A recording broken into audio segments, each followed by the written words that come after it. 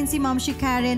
Ngayon, si Ma'am Shi Aubrey muna. Welcome back! Welcome back, very beautiful and sexy, ma'am. Hello, hello Yes. everyone. naman. Parang, parang nag-iba kayo. Parang nagpayatan kayo lahat. Nagseksihan kayo lahat naman. Same, same din with the family. Ganun, ganun pa rin. Halaman, fitness. Ganun. Same, same. Correct. Naku, naka-follow ako dahil sa mga halaman. Ako din, alam mo na. Yes. Pero ito, syempre, itong Valentine's, parang talagang iba raw yung Valentine's nyo ni Troy nung kayo mag-boyfriend-girlfriend pa at iba yung ngayon na na may family.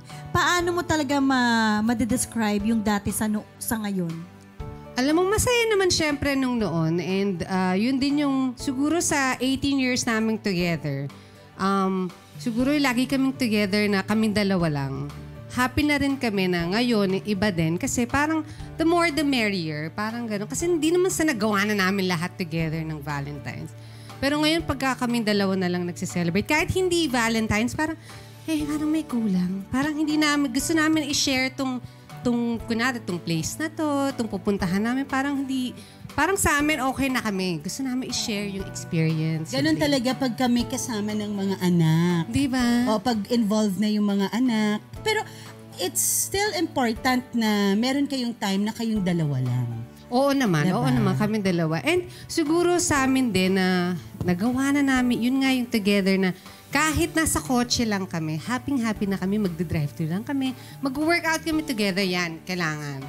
Pero ito, ma'am, si Audrey, kasi si Mori, yung panganay mong anak, siyempre binata na siya. Meron na ba siya ng sarili niyang konsepto sa Valentine's?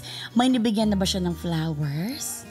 Alam mo noon siguro, nung, nung medyo nag, ano siya, kasi ngayon 19 na siya, nung 16 siya, para pero na broken hearted siya. eh. Parang, Oh. Oo, yung parang first na, parang yun yung last. Alam mo yung mga parang na-trauma ata siya. Tapos, oo, tapos parang, ay kapit-bahay pa namin yung kababata na. So, ayoko na sabihin, baka sabihin. Sinabi. Mami, Hindi, Ma'am, si Audrey na shinare niya sa'yo? Or nalaman mo na alam lang? naman na buong ano, yung townhouse.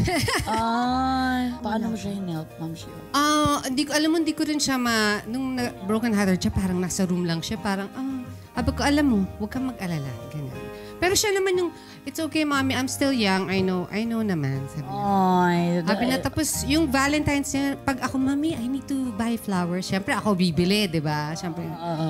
Pero ngayon, wala pa naman. Oo.